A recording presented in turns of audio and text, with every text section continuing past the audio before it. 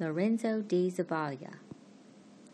Lorenzo de Zavala helped draft the Constitution of the Republic of Texas and was elected ad interim Vice President of the Republic of Texas.